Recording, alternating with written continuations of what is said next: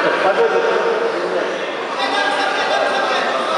Схватку попал нужно Алиев Рамазан. И на ковер приглашается Хамидов Фарук Чупанов Амирхан. Приглашается на ковер Б. Приготовиться Муртазалиев Гамид, Магомедов Хасан.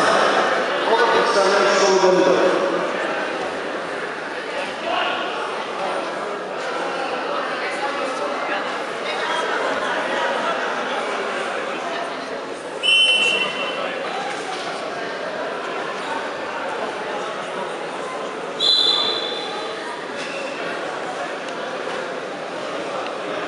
Следующая схватка готовится. Гордеев Абдулла Донга и